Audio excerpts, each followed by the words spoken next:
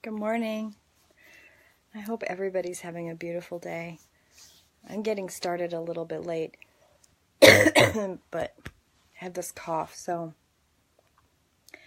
I just got done with my nebulizer and I'm going to go have a nice cup of tea and go start the car. It's like negative four outside, so we'll see how fast I get that moving.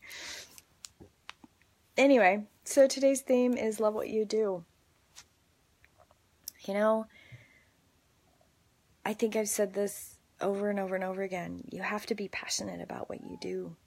You have to love what you do. You have to do it so much. So love it. if you don't love what you do, why are you doing it? I know that might sound selfish to some. You know, I remember having a conversation with my granddad years and years and years ago, and he's like, You don't have to love what you do, you just have to do it. And I was like, Well, what do you mean by that? He goes, When you have responsibilities and paying bills and rent and all those other things, you just have to have a job. He goes, You you know, my parents didn't necessarily love what they did and they did it their whole lives. And I went, Okay. That's fair, that's what they did. But I pointed out to him, we live in a, an era where we have the choice. We actually, most of us, have a choice of what we do. We can choose to do so many things. We can also entrap ourselves, or we can choose not to entrap ourselves. And he wasn't very solicitous with this. he was very adamant that you just had a job and you did it you know, if you were privileged enough to have an education that you could do something else, then that was great. But otherwise, you just did it. And you know, I've I've always worked. I've even when I haven't worked, I've worked. You know, like you you have a job, and you know, I've had jobs I didn't like, but I always did things that kept my passion going and kept my zest for life. And I've done a lot of different things because I love life more than anything. I love living life and experiencing life and and the journey to wherever it is that I'm going. Um, I have a a zest for for doing new things. Not everybody has that, but you should find a place of peace in what it is that you do. You know, I've had jobs that I really enjoyed for a little while and then I didn't like them so much after a while. I got bored. Or I didn't enjoy the people I was with. And we are social creatures. Even the most introverted person I know is somewhat of a social creature. We have a community we belong to. So it love what you do shouldn't just be the only theme. It should also be find your community and find your support and um, enjoy those people that are around you because they love you. We've been spinning some grand theories here cosmology, facts, hopes, desires, but in the end, my friends, we have come to one basic reality. There come moments in your life when you realize you have only one thing, and that is yourself. All of the props you are using during your lifetime make yourself feel at ease in the world will eventually fail.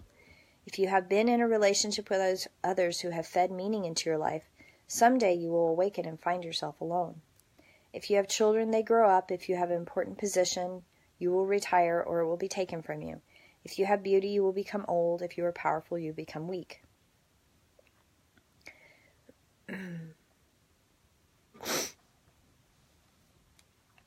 Sorry, I'm trying to read ahead because you don't want the boring parts.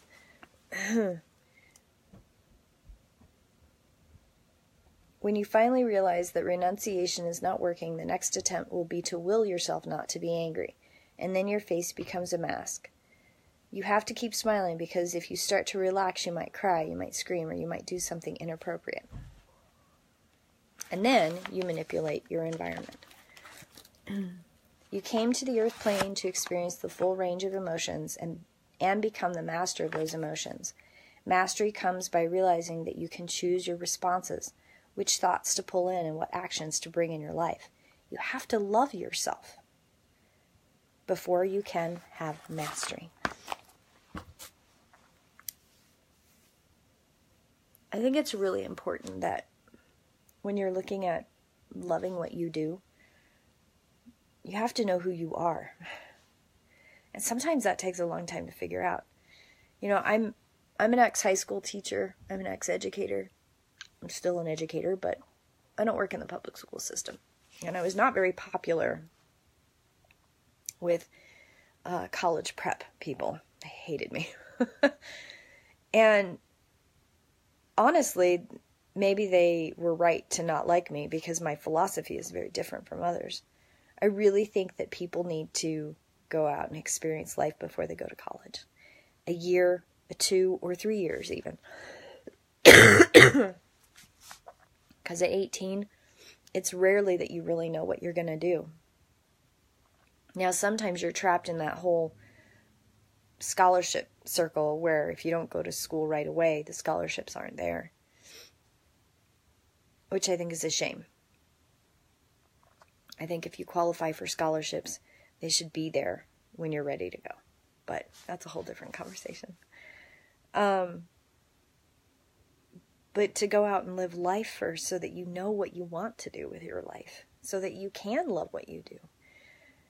Or at least know your personality better to have a better idea of what skills and knowledge you need to get where you're going. So it's negative numbers out there. It's really cold, but we had some beautiful snow over the weekend. It's beautiful outside. It's that blue color in the morning before the sun really comes up. I love that look. Um, I hope you all have a beautiful day. Find your peace. Phelan is over here like trying to pull stuff out of a drawer. it's such a goofy cat. And uh, I will see you tomorrow in prayer. Blessed be.